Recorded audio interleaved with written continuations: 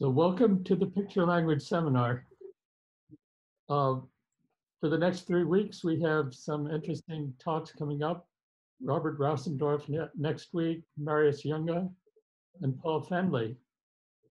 And today we're really happy to have Zhengwei Liu from Tsinghua University, who's now in Cambridge, Mass. And he'll tell us about this new subject, quantum Fourier analysis, that he started about four years ago with Chunlan, uh, Jiang and Jinsong Wu, and which is a very interesting thing. So Zhengwei, the floor is for you.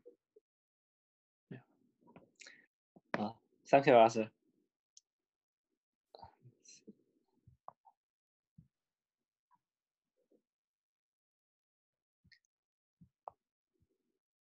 Uh, first, I, I would like to thank the organizers for asking me to give a talk at the Mathematical Picture Language Seminar.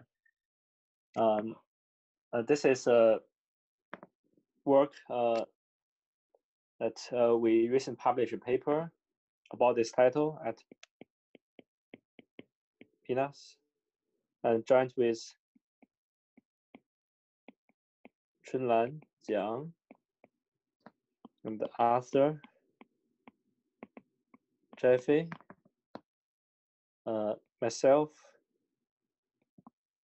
and Yunxiang, Ren, Jinsong, Wu.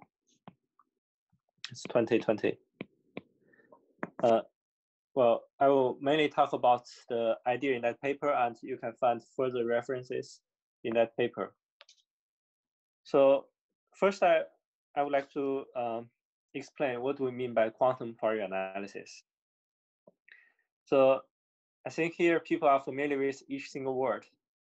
Like we are familiar with quantum, and we know the mathematician Fourier, and we know its analysis, Fourier analysis.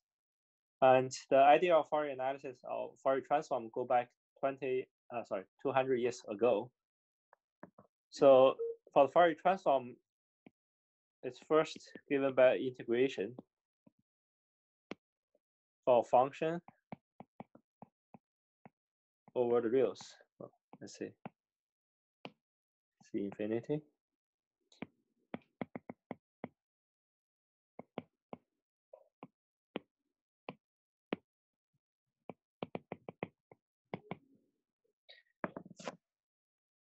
And it has been used to solve very interesting problems like the heat equation or in general some differential equation.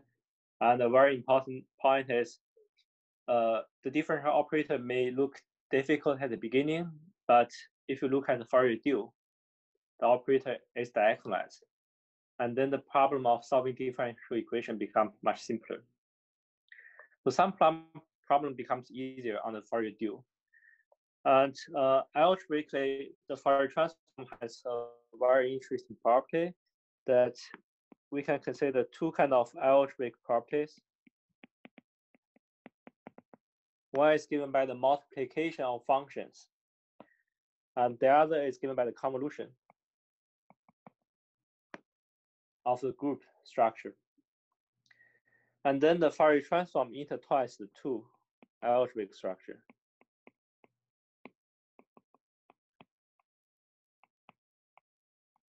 So this is a very important algebraic property of the Fourier transform. And another important analytic property is that the Fourier transform preserves the two norm.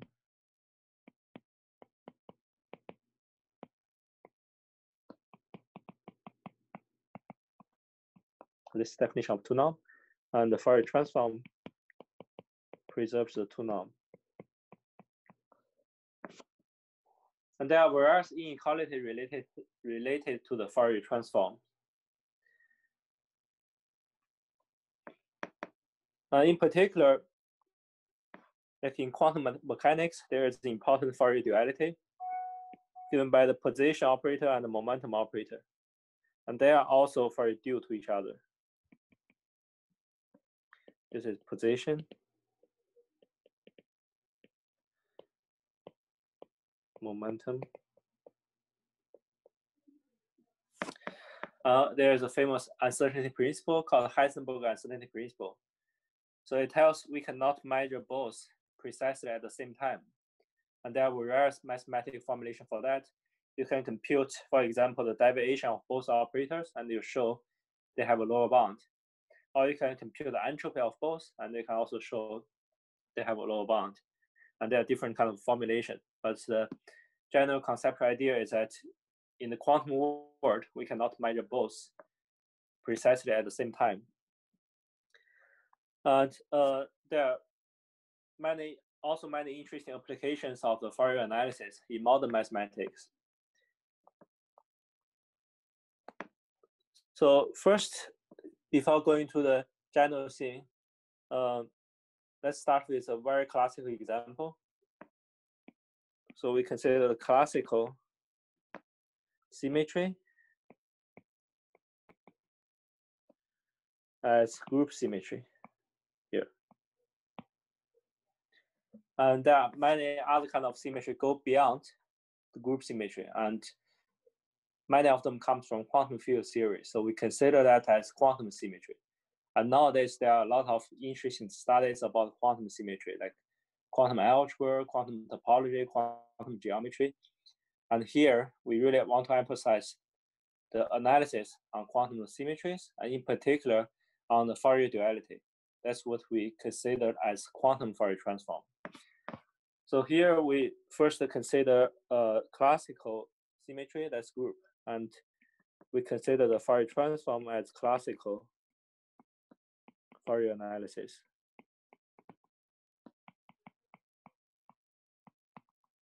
CFA. Now, for simplicity, I will take a finite group G. And then there are two different ways to impose the algebraic structure or multiplications for G. I will take the word A model and B model from string theory or mirror symmetry, but this is not the same thing. I just take the same word to distinguish the two sides. So A on the A side we can take the functions on the group, and then it has the usual multiplication as multiplication of functions.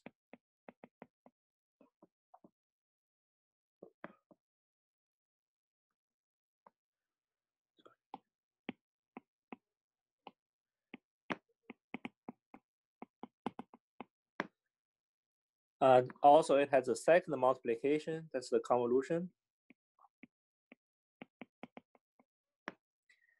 And this space has a measure. It's the big measure. And if we consider this as a special measure, it's actually the Haar measure. It's invariant under the action of the convolution.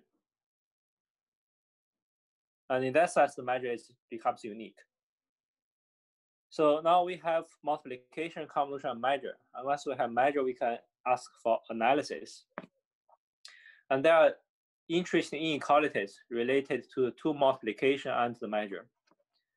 And one example is the Young's inequality.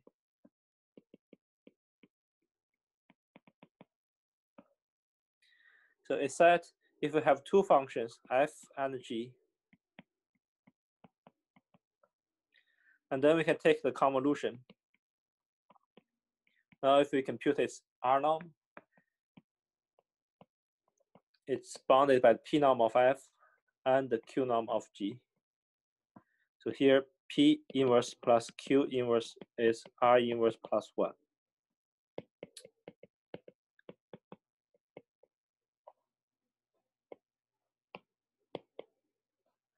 Well, the p norm is defined by the usual definition. It's absolute value piece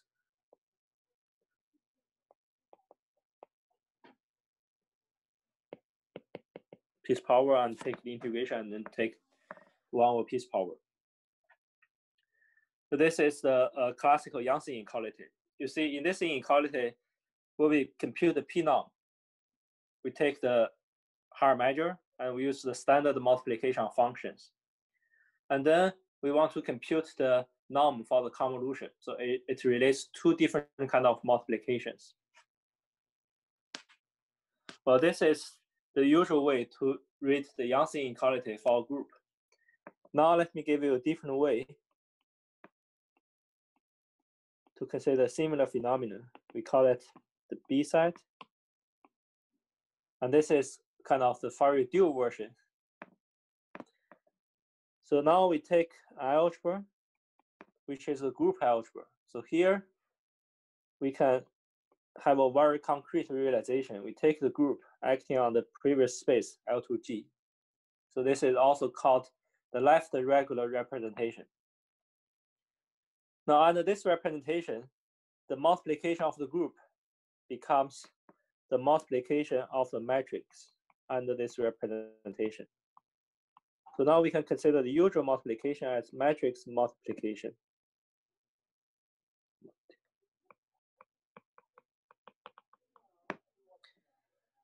And then we have a second multiplication on the matrix.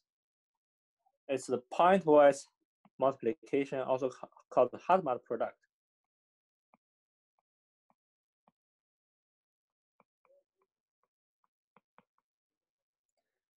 Namely, we have two matrices, Aij and Bij. And here for the second multiplication, I consider that as a convolution. So I use the star symbol. And it's the pointwise multiplication for each entry. And that's known as the Hadamard product. And also here, on matrix, there's a very natural measure, it's a trace.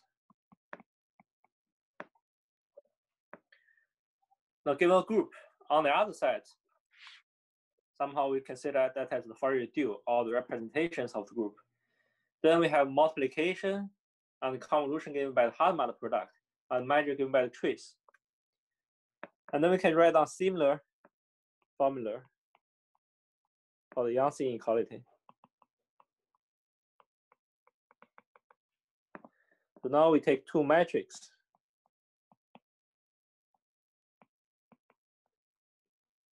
And then we can take the Hadamard product of the two matrices, matrices and compute their P norm and Q norm.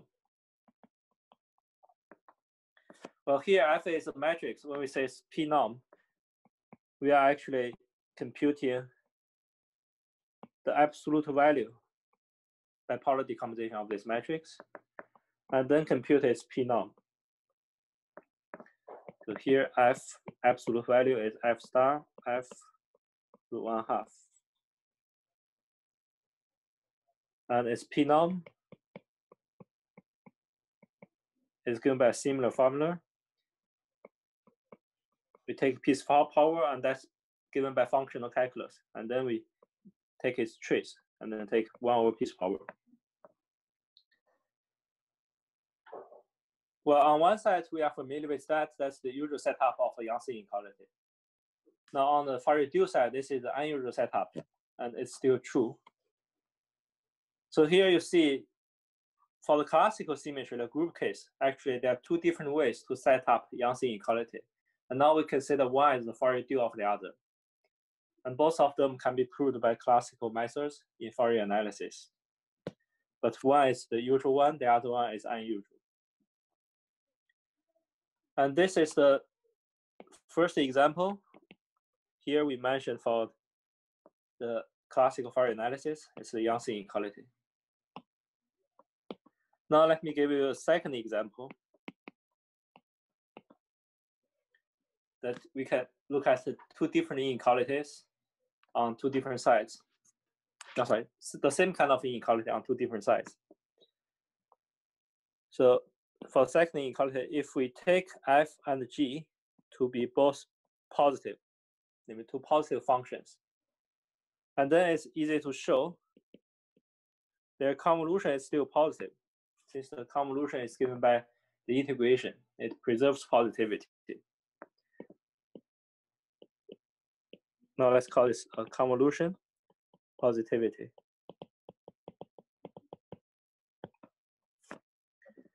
So this is on the A side. Now on the B side, we take two matrices to be positive operators. And then the convolution is the Hadamard product. And the Hadamard product of two positive operator is still positive. And this result is known as the Schur product theorem.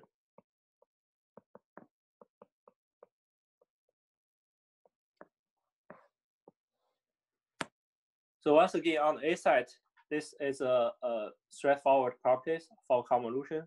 On the B side, uh, it's also easy to prove, but it becomes less obvious.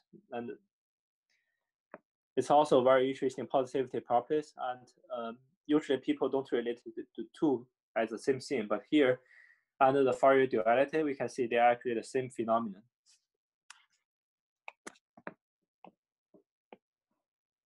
And the third one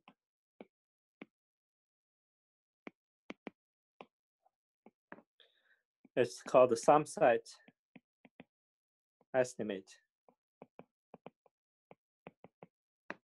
And this is widely used in additive combinatorics. And here we mentioned the most basic inequality. So if we take two sets, two subsets of the group G,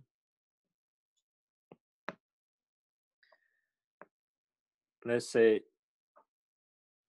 uh, S and T. And then the sum set estimate is the estimate of the addition of the two subsets.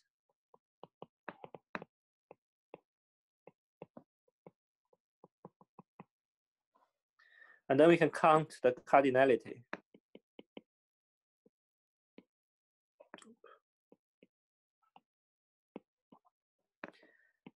And we will have, a first estimate. Its cardinality will be bigger than the cardinality of S and T.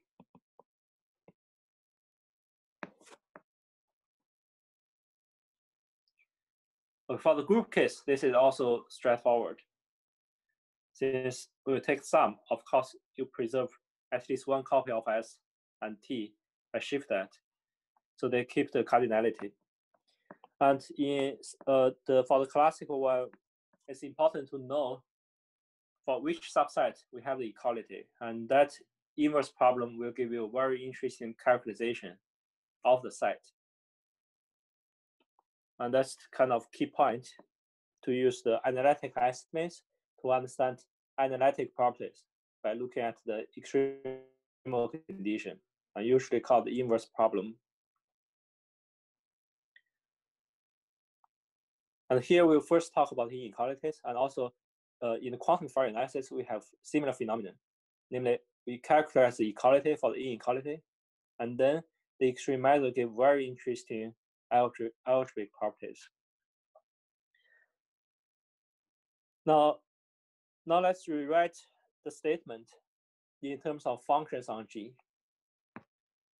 You take two projections one is the indicator function on subset S, and the other is the indicator function on subset T.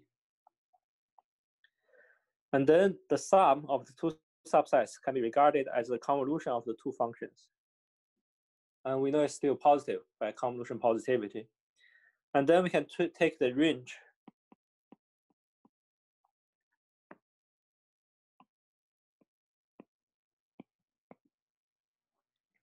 of these positive functions. And then we can measure that.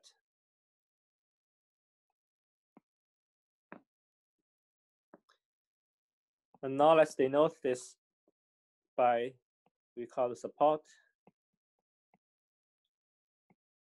of the two functions, of the convolution of two functions. So then we can rewrite the sum set estimate as the support of the convolution of the two function or two projections that's bigger or equal to the support of any one of them. So this is the same thing, the sum set estimate, but now I rewrite this as functions on the group. And actually you can further generalize this by changing the projection to arbitrary positive function, but they are the uh, equivalent statement. Now, let's do this sum set estimates on the B side. We call it under the Fourier duality.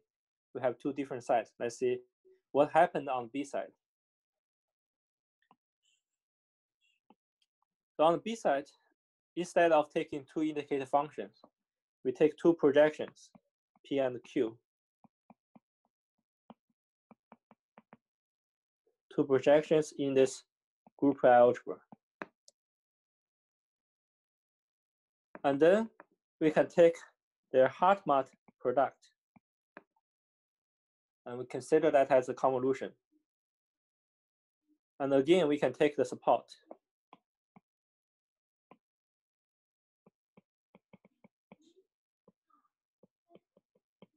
of the Hadamard product. And here, what's the meaning of the support? So we take this Hadamard product, and then by the Schur product theorem, we know this operator is a positive operator. And then for the positive operator, we can take its range projection, and then we take the trace, similar to the previous statement. And that's the definition of support. Now we say the support of the Hadamard product is still bounded by support of each single operator. So this is the non-commutative version of the sum set estimates and it works for matrices. And as far as I know, uh, this inequality is new.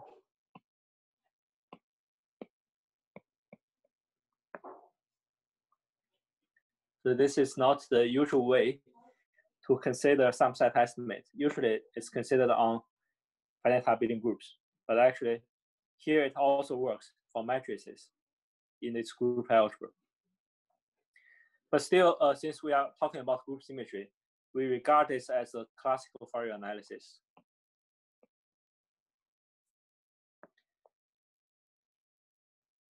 Now let's talk about something quantum.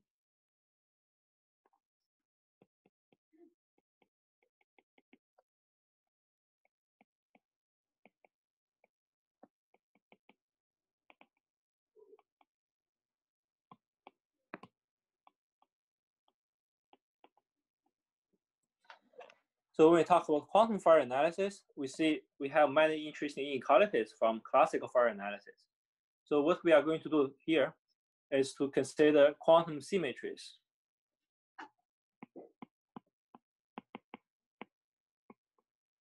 That's beyond group.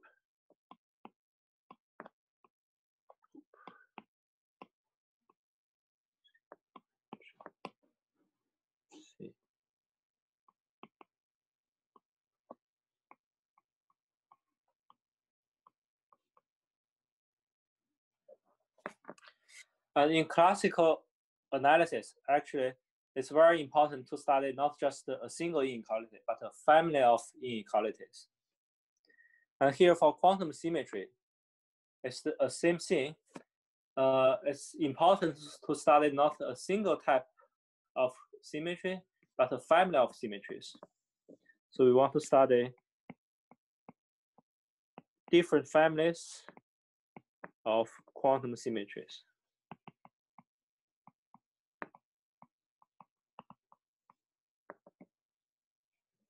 And here we can regard group symmetry as one family of symmetry, and that's classical.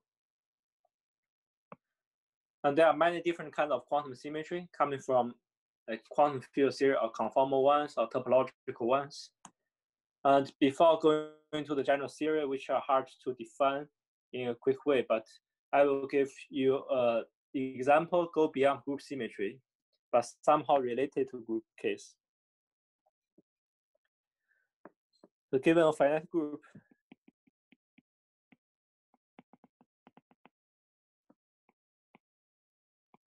G, and then we can consider the representations of G. And among that, we can take the irreducible representations. And for example, if we take G to be the group, symmetric group S3, it has three irreducible representations. The trivial representation, and the sign representation, and the two-dimensional representation. So their dimensions will be one, one, and two. And moreover, for representations, we have the tensor product of representations. And the tensor product of two representation is still a representation of the group. And moreover, we can when we take tensor, we can decompose that again as irreducible representation. Like if we take sign representation, its tensor is trivial. And if we take the sign representation multiply gamma, it's gamma. And if we take gamma square, the tensor of two two dimensional representation, we get the sign uh, the trivial representation, the sign representation, and gamma itself. So now if you look at this formula, and you consider this in an abstract way, just as abstract symbols, and then you see there are three elements, and you have a multiplication of this ring, and coefficients are integers. And this is actually similar to the group case. But the difference is when you take multiplication of two elements, you may get a sum, a positive sum. And in general, this is called fusion ring, given by Lusztig.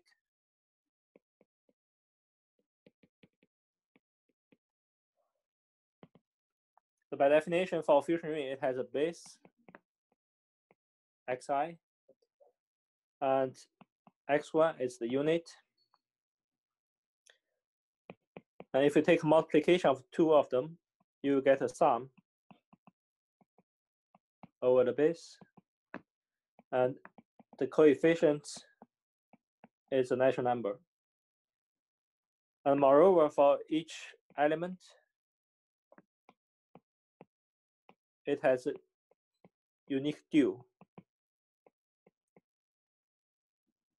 given by an involution map such that Nijk, when we take K to be trivial representation, namely a representation has a unique dual, and their tensor has a, only one copy of the trivial representation. So that means this coefficient Nij1 is 1 if I is J star or 0 elsewhere. So this is the definition of fusion ring. And you see, this is can be first. This is considered as the ring of group representations, but abstractly, you can consider this as a generalization of the group. And then we can ask whether the classical Fourier analysis also holds on the fusion ring.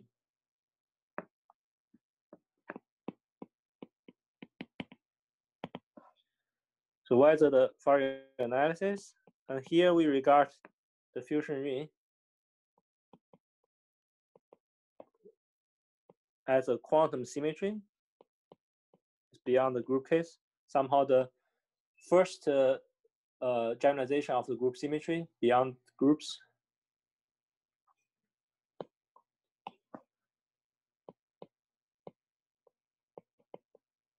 for Q. So it, now we can say whether the quantum Fourier analysis holds on the fusion ring.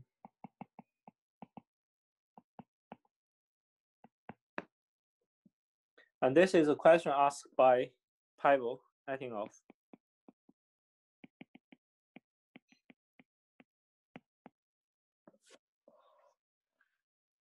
And in recent paper joined with Jinsong Wu and Sebastien, we are trying to study this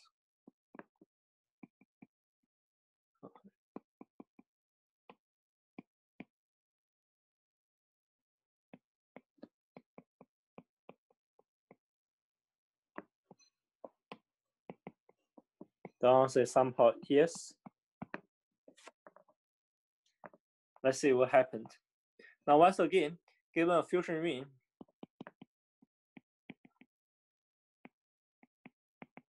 now let's call it R instead of G for the group. Uh, we also have two different ways to study that. The A side, we can consider the algebra given by functions on the fusion ring. And then we have two different kind of multiplication. One is the multiplication. The usual one as multiplication of functions. And the other one is the convolution. So here, similar to the group case. For the group case, we have the group multiplication. It places of the convolution on functions. Here, we also have a this fusion multiplication, this part. And we can use that to define the convolution. So now we have two different multiplications on this space, functions on R. And then we can study the Haar measure. So it's a measure invariant and the convolution, but here, since it's no longer the group, group multiplication, so by Haar measure, we mean is the positive character.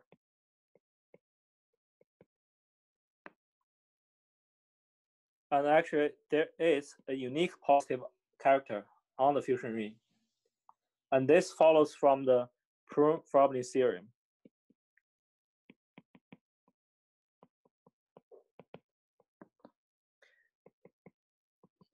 So usually we also call this the Perron-Frobenius dimension.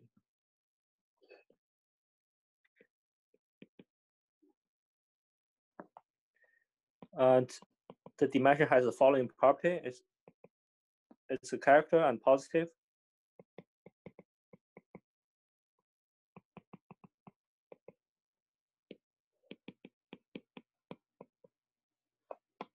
Positive.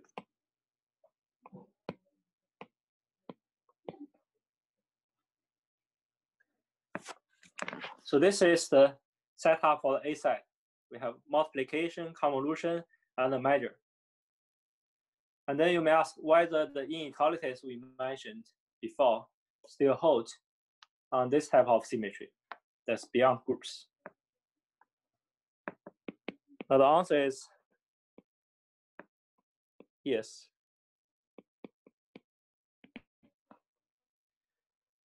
So if we have Young's inequality, and the convolution positivity.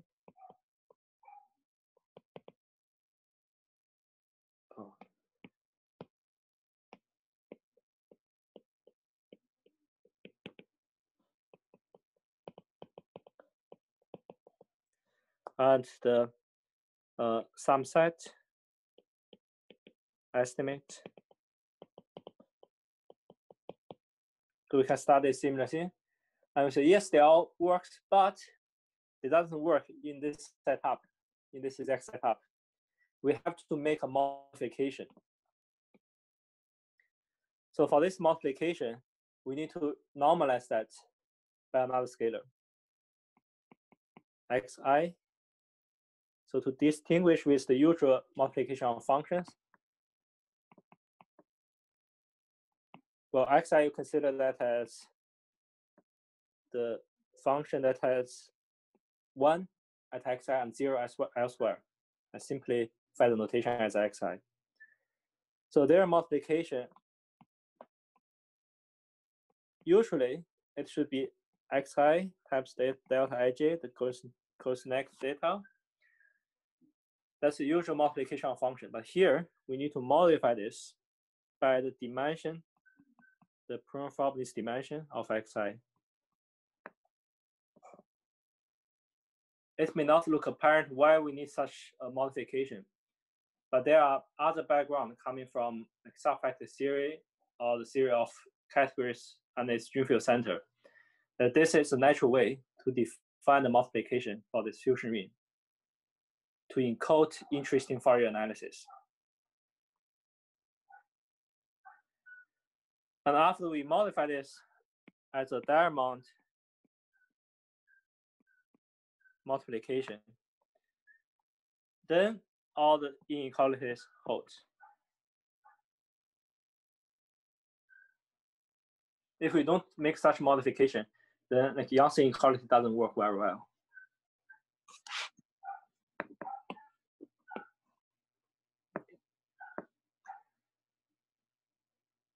So, so this gives a, a generalization of those classical inequalities from group symmetry to fusion rings. Now we can also look at the B side.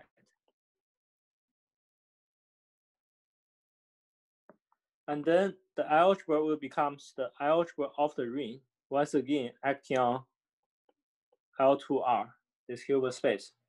So we also consider that as the left regular representation. And then we can consider the multiplication of this matrix algebra.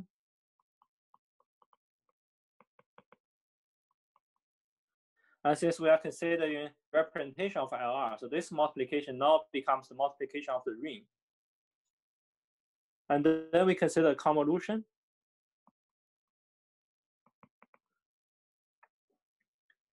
Now, what's the convolution? So for the group case, on two different sides, the multiplication give you the convolution and the convolution give you multiplication on two different sides because the Fourier transform intertwines the two.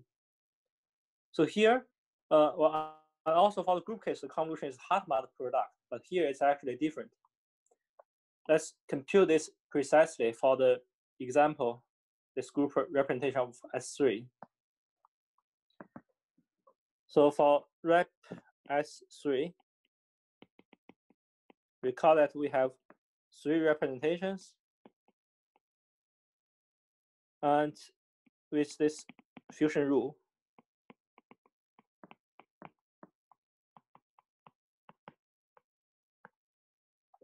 Now, if we take the left regular representation, then the trivial representation is the identity matrix. And the sign representation is this matrix. And gamma is this matrix. Just given by the previous fusion rule. Now, what is the diamond product? The diamond product that if you take two different elements, like this, that's zero. Well, but if you take the same element, it's a scalar multiple of this element, and the scalar is its dimension inverse. So here's one half.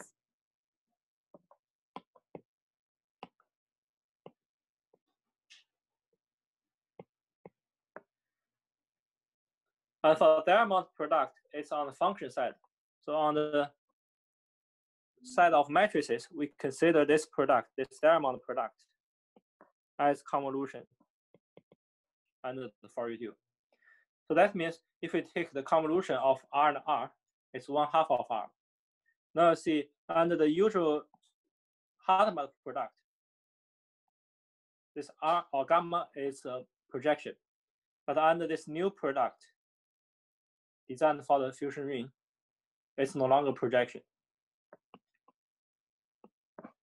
So in general,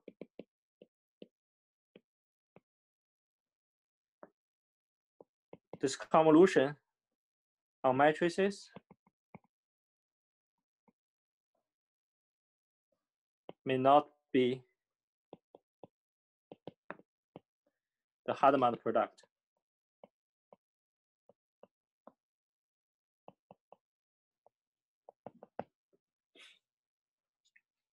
Now, we need to be careful. Then whether we still preserve the positivity, whether for the convolution of two matrices is still positive.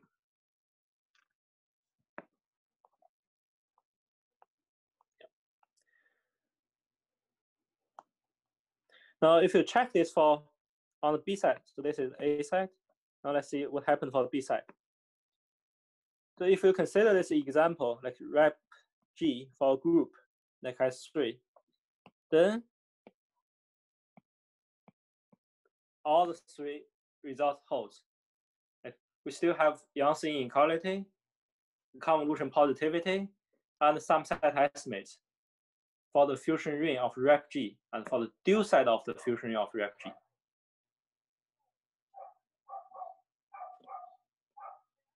But if we just look at the general fusion ring,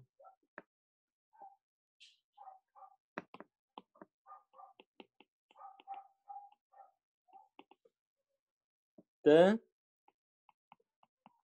they don't hold. So when we first see that, actually, we are very surprising. Just um, those classical inequalities, if we do that for the quantum symmetry for the fusion rings, sometimes they don't they do not hold. And we can find give very concrete counter examples. But for some special fusion rings, they come from groups like G, the inequality holds. So this gives a distinction between the general fusion ring and some special interesting fusion rings come from representation of the groups.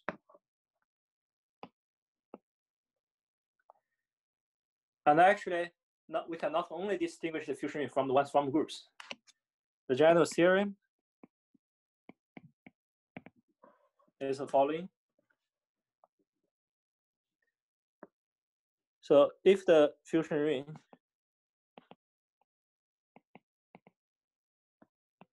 is the Grothendieck ring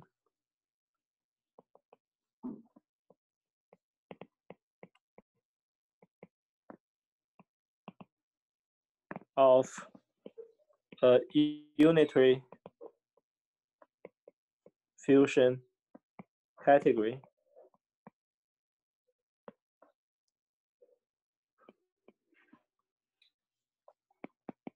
then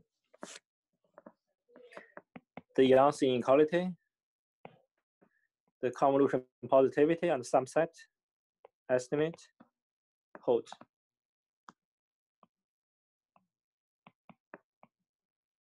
on ring and on both sides on both A model and B model.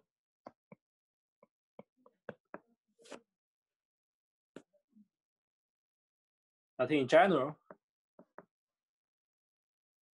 it may not hold on the B model. It always hold on the A side. So this theorem, what's the meaning of a unitary fusion category? If we read this, uh, well, first, if it's rep G, then it's always unitary fusion category for group G. And in general, people also study the representation of Hopf algebra, weak Hopf algebra. So it will be beyond the group case there are many examples. And it's a very important topic because uh, from the unitary fusion category, you can get two interesting things. One is the Turaev-Viro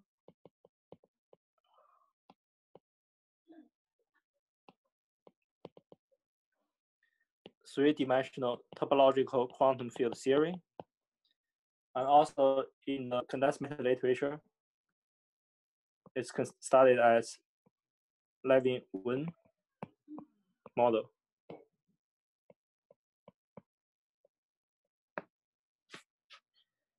So they're almost parallel theorems, but from quite different perspectives.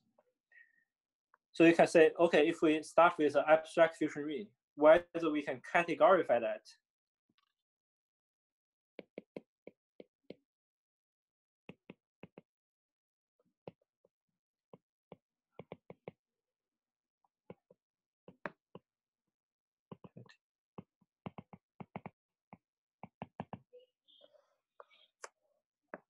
And then we get this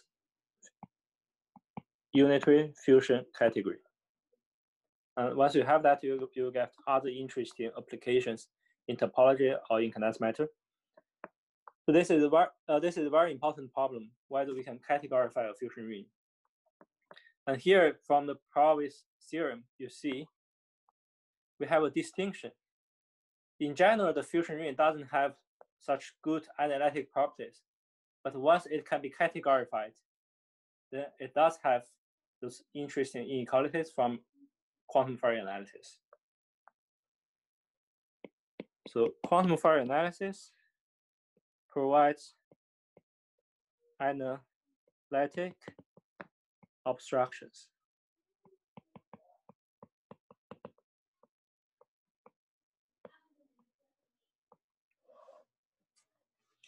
And those are completely new obstructions. And we test this obstruction for some concrete examples. And uh, once again, it's very surprising. These are very efficient obstructions.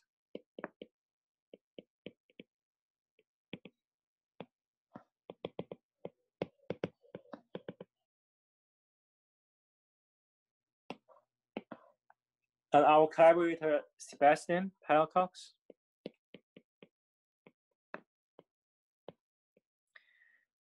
uh, he actually has 17 integral fusion rings about seven years ago. And it's very important to categorize such kind of fusion ring because uh, if it can, can be categorized, they will be the uh, example that are integral but not coming from groups. So somehow very weird. Something look at integral but not from the group, the big world of groups. So we want to know whether they can be categorized, and he asked uh, actually many experts, many experts whether any of them can be categorized or be ruled out. But in general, it's very hard to show whether fusion can be categorized. It's equivalent to solve the pentagon equation. And usually we don't expect to solve such complicated equation. And here we test the analytic obstruction, in particular the Schur product condition. Since it's easy to verify, it's essentially check the characters of this, and of them actually commutative. It's essentially check the uh, characters of, of the fusion ring and to show the multiplication of two positive character is also positive sum of positive of of characters, similar to group case. But here, when we take the multiplication, we need to modify that again by the quantum dimension because we modify that in the definition of function uh, multiplication of functions in the A model. But uh, let's skip the detail. Uh, finally, we showed 15 out of the 17 cannot be unitarily categorized. There's really a large percentage of uh, those fusion rings that can be ruled out using the analytic abstractions.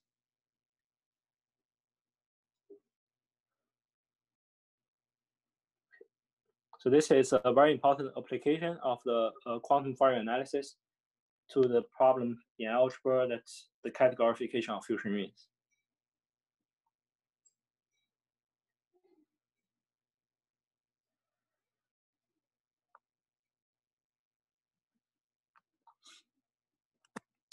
Now, let's talk about part three. So there are, here we only mention one kind of symmetry that's beyond the group symmetry. It's given by the fusion ring, somehow generalization of the representation ring of groups.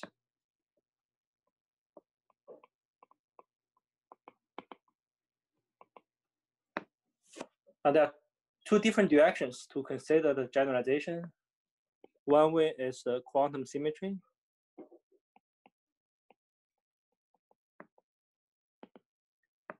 And actually, here we mentioned several examples, but we didn't really study the examples in this way at the beginning.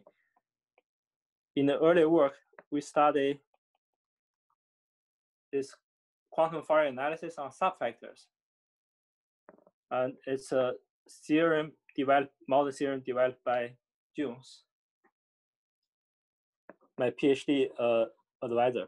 So I studied subfactor with him and try to work on these analytic properties. And all the examples we mentioned before, the groups or fusion rings or their duals, come as special case of subfactors.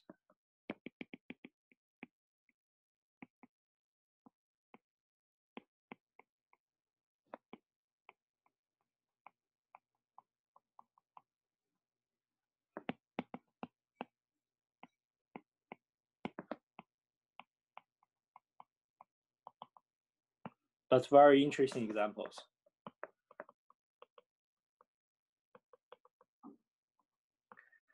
And there are other kind of interesting examples related to subfactor theory or the system of sectors of some quantum field theory. And also here at the beginning, we, we said we take finite group, and here for fusion it's also finite. So another generalization for the quantum symmetry is from finite to infinite.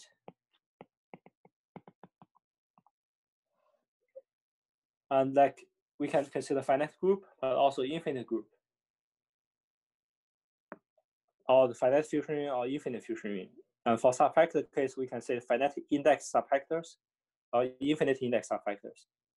Or for the quantum group, we can take finite dimensional ones or infinite dimensional ones. Here we require positivity, so they are C-star quantum groups, also called Kac algebras. So for the infinite dimensional case, we can study the infinite dimensional Kac algebras, or a more general situation called locally compact quantum groups.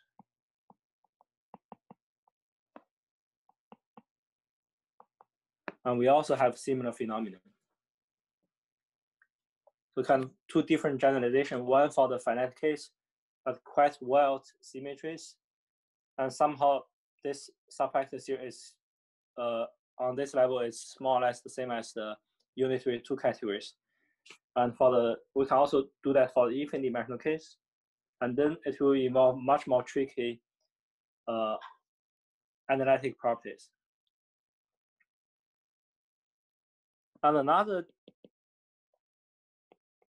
direction is to co consider uh, different type of inequalities. In particular, inequality in families. And one famous inequality in Fourier analysis is the Brascamp-Lieb inequality. It's a very wild inequality. It's generalized many classic ones like Young inequality, Hölder inequality, Loomis-Whitney inequality as special case. And this has been studied in 1978 in days, and it has been popular in the past 40 years, and still is a very active topic. And in our paper, QFA paper, this PNAS paper in 2020, we give a universal inequality as an analog.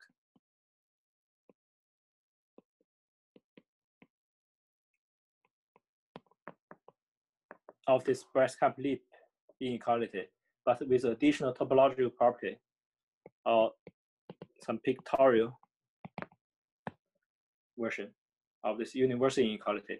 And again, in our case, this inequality will include like Young inequality and other special uh, Hölder inequality special case. And moreover, our pictorial formalization will also include the Hausdorff-Young inequality as special case, which is not the case for the classical breast Brascamp-Lieb. So it may be possible to have a more general inequality for breast Brascamp-Lieb, but with additional example, the Hausdorff-Young inequality involved. And those inequality now in our setup also works for other type of quantum symmetries like fusion rings or subfactors or Kac algebras. So that's kind of another direction. We expect to study in the future, we study families of inequalities for quantum symmetries.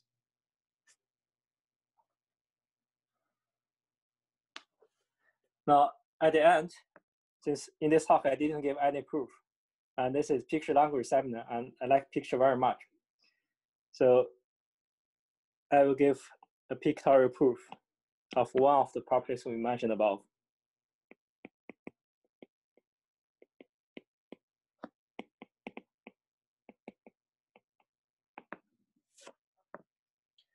Uh, in a pictorial way, actually, based on topological field theory, all planar algebras introduced by Jones,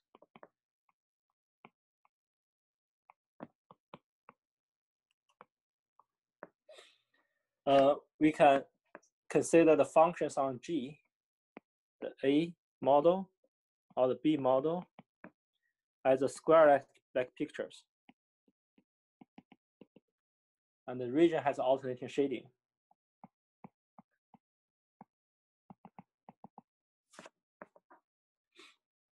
And then the multiplication of two elements will be stacking the diagram vertically and the convolution is stacking the diagram horizontally.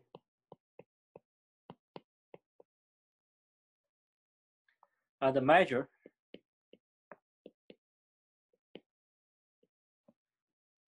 like the trace of x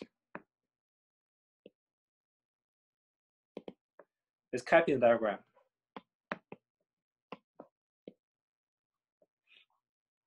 And you have similar picture on the B side, but with alternating shading.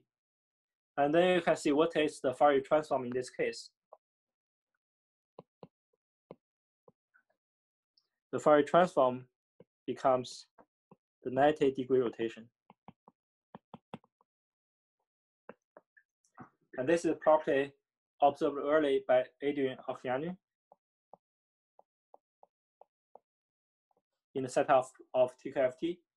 And here we do it in the setup of planar algebras, and which is more compatible with the analytic properties. And now let's check one property, which is this convolution positivity or the Schur product property. So it said if x and y are positive operators, and then we want to show their convolution is positive. And now as an operator, it's a positive operator. So we can decompose it, it as a square of its square root.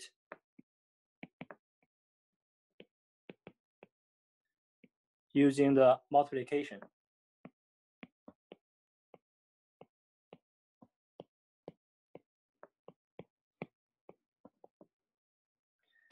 And now we can decompose the picture in the middle. Then you see the top side is still a mirror image of the other one. So one is the joint of the other. And then the multiplication of operator and its adjoint is positive. So that's the proof. And actually, even though we are working on a very general quantum symmetry, based on additional idea coming from topological field theory or other pictorial methods, the proof may not be that complicated. Sometimes it becomes even simpler. So with new ideas, we can actually give quite simpler proof for more general setup.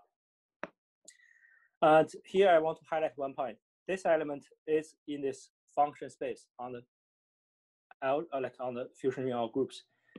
But this element is not the usual element in this algebra. Like for the fusion category case, we prove that this is an element in the Drinfeld center.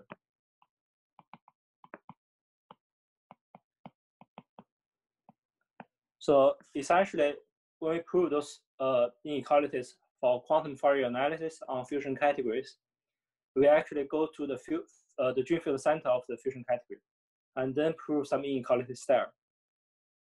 And we show those inequalities do not hold if they're just fusion rings. So in this way, we can get analytic abstraction as mentioned ahead. Well, this is the pictorial proof, and it's very short, um, but you already see it's actually very powerful. Thank you.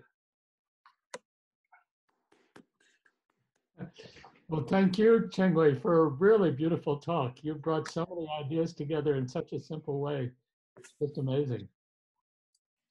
I, am sure there are many questions. In fact, maybe I could start with a question because in your abstract, you mentioned entropy.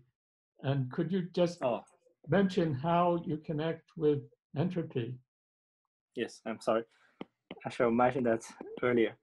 Another very important part is uh, here we mentioned three inequalities. Young inequality, the convolution positivity of Schur product, and the sum set estimate. But actually, there are tremendous inequalities in classical Fourier analysis. And one important thing to measure the element is not just the p norm, but also the entropy.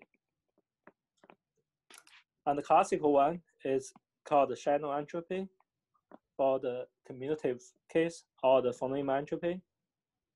For the non-commutative case.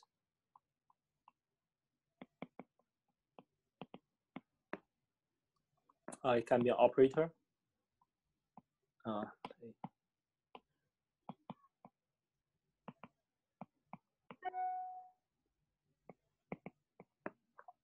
and also uh, there are entropies more general than this one, like the Renyi entropy or the relative entropy.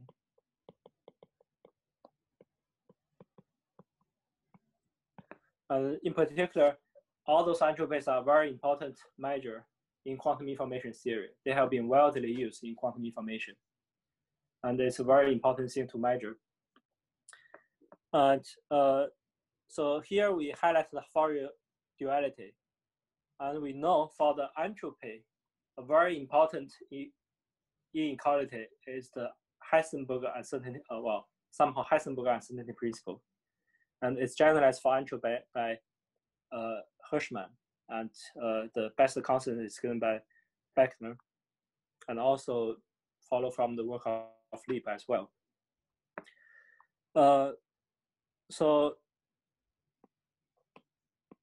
we can actually have uncertainty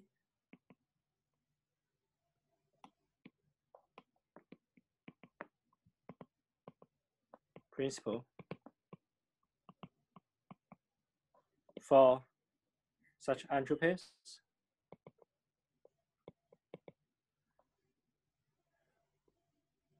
For Fourier duality over quantum symmetry.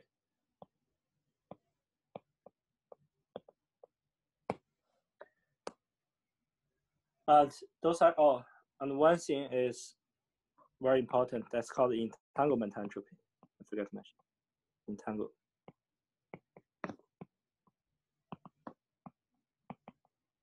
In quantum information. And actually, in the general setup, we can prove several uh, uncertainty principle for such entropies. Like in the QFA paper, we prove this uh, uncertainty principle for relative entropy. And if we apply the quantum symmetry, the general case, to some special case, then we can get interesting result on special case. And here I give you one hint how do we apply those inequalities? Like how do we understand the entanglement entropy? A uh, very basic example. If we take the operator on the group, like functions on Z2, and then there is a Fourier duality between the identity matrix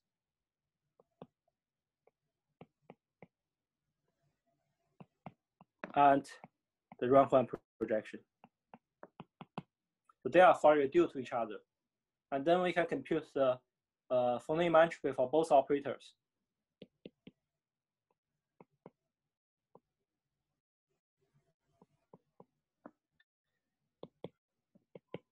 And its Fourier transform will have a lower bound bigger than zero. Now, if we read this in a different way, if we don't read this as, as an operator, but as a tensor product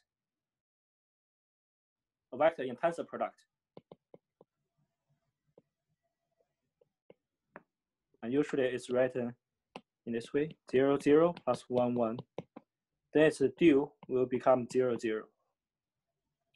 And then this Neumann entropy becomes entanglement entropy.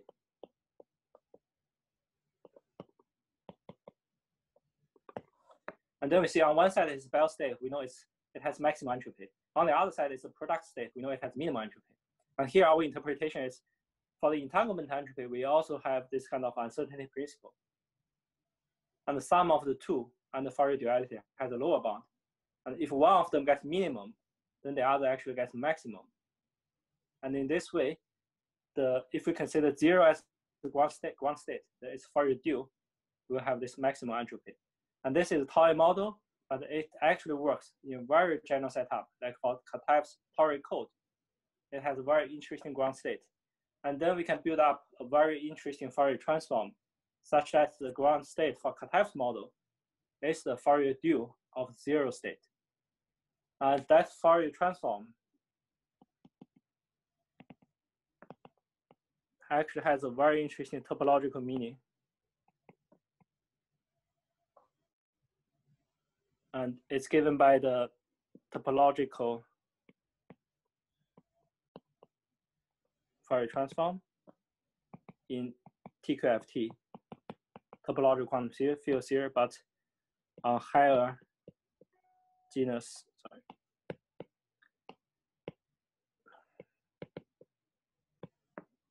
On higher genus surface. So this has a very deep connection between the topological field theory on higher genus and the outside is condensed matter side. So they actually very general Fourier transform, much more beyond the example I mentioned here. And they all have highly natural analytic properties. And here for our case, we can also measure the uh, like the operator using entropies, and we get the interesting uncertainty principles. And by using different example, different Fourier transform, different entropy, we get different inequalities. And with different simulation in quantum information, we can actually get different interpretations. Thank you. I have some other questions, but I think first Werner Nahm has a question. Yes. In your general categories, general fusion categories, yeah. are all objects uh, decomposable into irreducibles, or do you need some Tannaka-Krein generalization? Oh, here, here uh, when we talk about this problem for categorification, uh, first we are mainly interested in the uh, fusion category with finitely many simple objects. And then that corresponds to representation of a finite group. And then everything can be decomposed into irreducible ones.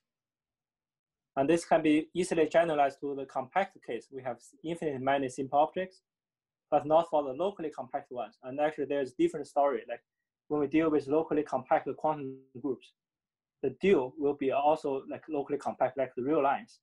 And the topology will be quite different. It's no longer discrete and that has quite different kind of problems for the analysis.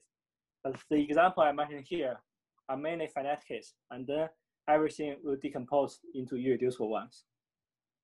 And also when we say fusion category, that already means the algebra is semi-simple. So there's no nilpotent part. Thank you.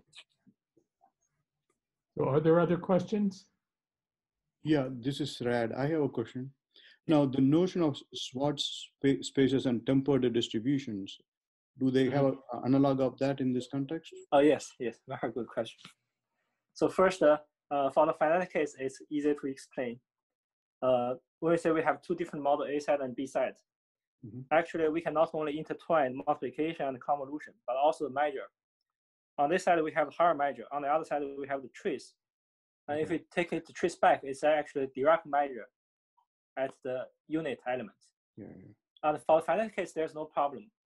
And for the infinite case, this will be really the Dirac measure. It has value infinity at a single point. Okay. But for the because topology is not discrete, so it's somehow well defined in the deal. And then when we deal with the uh, infinite dimensional examples, indeed, we need to deal with such measure. And it works very well. And uh, for locally compact quantum groups, the setup is given by many other people. And one book we have used is given by Stefaan Vaes and uh, his collaborator, uh, yeah. Kumar Wass. And uh, they have a good setup, saying, okay, both measures are well defined. And another problem is here we use the pictorial method in topological field theory. And then now most uh, uh, popular ones are all about finite symmetries. And actually, we also have ongoing work to have those kind of infinite symmetries, but with topological field theory behind. And that part, this Dirac measure is very tricky. It's extremely interesting. I can give a hint, namely, uh, we have to be very careful for the infinite dimensional case because the test functions are good, like Schwartz function. And if we want to define those Dirac measure, it has to define the dual. Mm -hmm. And here the hint is for those abstract notion like those label, they are considered as test functions. They are very good. Okay. And the tangle are considered as something in the dual. And they could be unbounded operators. And that could include the Dirac measure. Thank you. Thank you, Red. So I'd like to come back to the thing you mentioned about extremizers, but you didn't elaborate on it. You know very well in the Gaussian case that Beckner showed that Gaussian extremizes Hausdorff-Young and other inequalities, and many studies have been done about that. What is known in quantum Fourier analysis about extremizers? Yes, thank you. Uh, for quantum Fourier analysis, uh, we can consider extremizer for different case. But for the finite case, most of them are related to a concept called bi-shift of by projections. And by projection in subfact setup is studied by Dietmar Bisch. And here we have a generalization of that. And this is considered as an analog of Gaussian functions. And uh, they share many interesting analytic properties, even though they look different at the beginning. And then we can trust uh, somehow transform the statement from one side to another side. And at the beginning, we try to understand a lot of properties for Gaussians. And then we show they also works for those redshift or projection for quantum symmetries. But later, actually, we found something more interesting. We have some statement for redshift or projections, and then we propose conjectures for Gaussian functions. And this is what we call the 2D central limit theorem.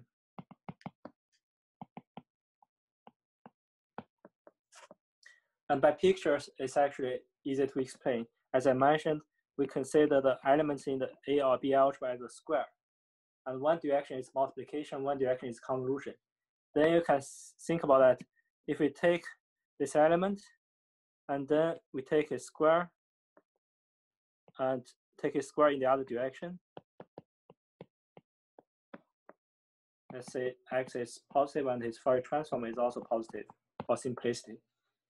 And then this is kind of a renormalization map. We can average the elements in two different directions. And up to a proper scalar normalization. And then we have shown that under this renormalization, we call it block map. Uh, this limit is biprojections. And each back projection is actually an invariant, invariant point under this dynamic. So this has a very good dynamic. It converges to back projections. Now we also test this for Gaussian uh, for real function. Like if you take C infinity functions on reals, and then if you run this map, up to scalar. If this is Rk, this will be normalized by scalar. And this limit will be Gaussian. So somehow you can consider uh, we have the convolution, we repeat the convolution, and then we rescale the size of R. That's the usual central limit theorem. And then essentially we use the multiplication in one direction. And here we use the multiplication in both directions and we repeat that. It's kind of mix the central limit theorem for both directions. And then we test that this is still convergence to Gaussian function, but we only test this numerically. And it's extremely fast. It converges to Gaussian functions rapidly, but this is still conjecture. We don't have a theoretical proof.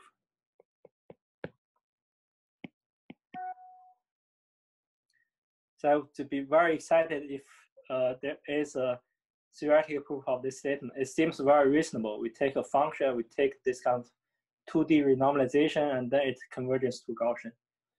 But so far, uh, we don't have a proof yet. Is this related to a central limit theorem in free probability? Uh, not yet. And uh, but uh, the conceptual reason is we believe the entropy not the single entropy, but the entropy from uncertainty principle. You take a sum of entropy for function and its due, And we believe this map will decrease the entropy. And since the Gaussian function are measures of that, and that should be the conceptual reason why this converges to Gaussian function. But uh, we also cannot prove that. Um, yeah, so when you talk about the central limit theorem, you have to talk about the stochastic independence. So yes, kind of uh, you're uh, assuming a commutative independence. Yes, yes. Here, when we say uh, all the elements are all x, that means we take independent random mm-hmm. variables, but here they are non-commutative ones. And of course, you can replace x by other element and then ask this limit again. And then we have no good estimates so far. Yeah. So that yeah, that will change the stochastic independence. Yeah. Yeah. Okay.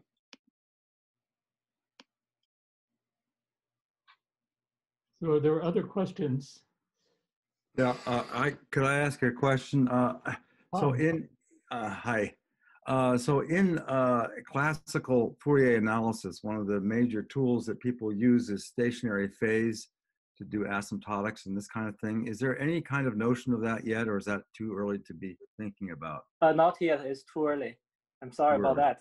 And also, yeah. uh, there's one problem is when we first consider this, we are considering subfactors. And for subfactors, the finite index subfactor yeah. is a very fruitful theory. And that means the algebra we are looking at is finite dimensional, but it's a family of finite dimensional algebra. And for the finite case, uh, we lose we lose many interesting properties. And but uh, mm -hmm. on the other side, mm -hmm. since we are considering Wait, very no, no, no, notion of asymptotics. Sorry. No notion of asymptotics, then. Uh, uh, uh right. That, yes, the, that's the yes, know. that's the problem. Since when we go from infinite to finite, some mm-hmm. notion just disappear, and we cannot study that at, at this okay. point.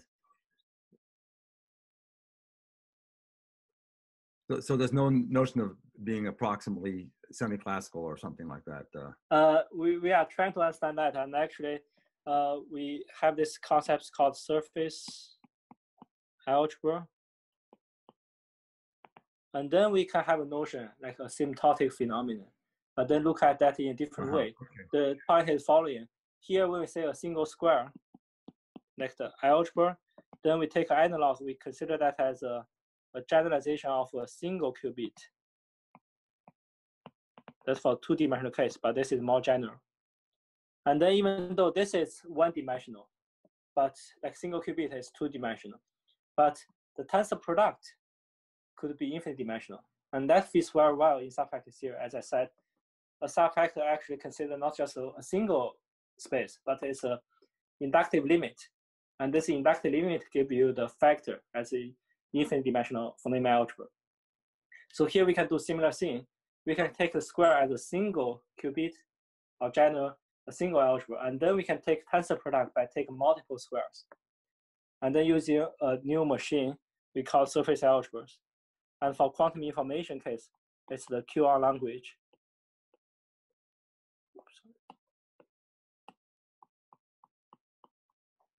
And then we can start the infinite phenomenon. And we believe this is right setup.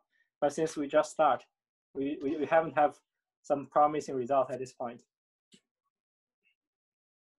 Oh, thank you.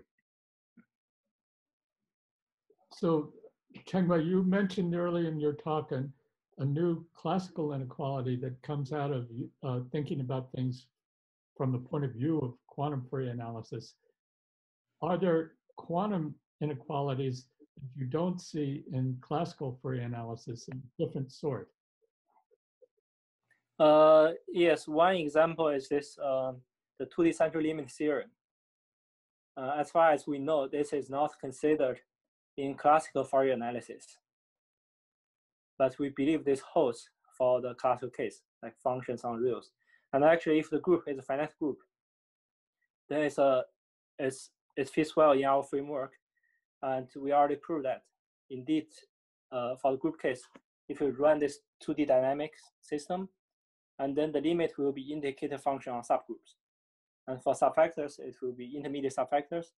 For fusion categories, it will be full subcategories. So all correspond to intermediate concepts. And then for the real line, since it's locally compact, there's no open compact subgroups. and then we'll have different phenomena. We believe it converges to Gaussians. So that's kind of well, one example we can uh, we can get new ideas, and this idea really comes from somehow condensed matter, this 2D renormalization, and then we give, give it back to uh, classical Fourier analysis, and we have this uh, 2D central limit Sophus conjecture.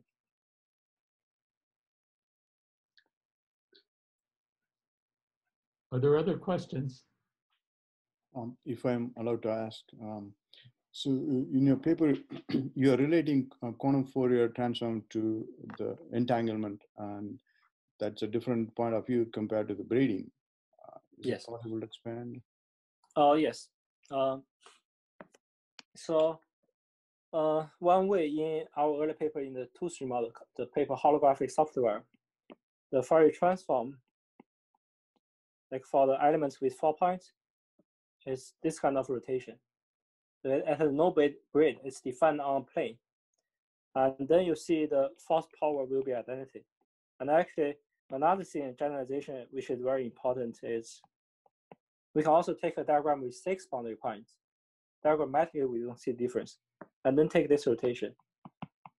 Then it will have periodicity, periodicity six. And this can be also regarded as a Fourier transform. And in this interpretation, there is no grid. Everything is defined on plane. And that's why actually one called planar algebra. But actually, for some special case, like if we not we are not talking about fusion category, but modular tensor category coming from conformal field theory, then it has the very rich structure that's the braid. And then in that case, there's a well-known transformation called the S matrix.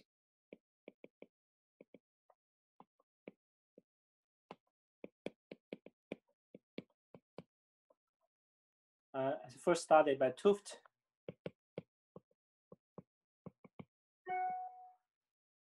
And this is also considered as a Fourier transform, and it's actually a very important transformation for conformal field theory. And now for this transformation, I would consider this is at uh, the Fourier transform for genus one torus. Well, not I, but people always consider it in that way. Like we have a torus, the genus one, and then we have this circle in this torus labeled by I, the possible configuration. And then the J will be the configuration in the dual space, the complement of torus in three sphere. That's also torus. And then this is a topological duality. That's the Fourier transform. And actually, it's not apparent, but that's indeed the case. This Fourier transform can be identified as this 90 degree rotation with different pictorial interpretation. There is a full functorial identification between the two sides using orbifold theory. And not only for this one, but also for the higher genus case. Say, if you have a genus 2 torus, and then the configuration will be like this. And then in the dual, the configuration will be like this. And in this way, you can define another S matrix at this value. So that's a Fourier duality for the genus 2 torus. And then by a careful choice of basis, you can show its periodicity is 6. And then again, by orbifold theory, it corresponds to this diagram on the plane. So on one side, this uh, diagram in modular tensor category has braids. So you can define the Fourier duality using braids. But on the other side, that's the powerful part of, of open orbifold theory. You can study the TQFT on higher genus Riemann surface by looking at another TQFT on the Riemann surface without genus. And this is kind of the uh, correspondence. And in this way, we can translate the diagram with braids to diagrams on the plane without braids. Thank you. Well, I think we've covered quite a large number of topics. So unless there's any other pressing question, I think we should thank Zhengwei again. Are there any other questions? It's such an inspiring thing to have a new subject where so many familiar concepts seem to be connected to it. Thank you very much, Zhengwei. That's all. Thank you, Arthur. Thank you, everyone. See you next week. Bye-bye.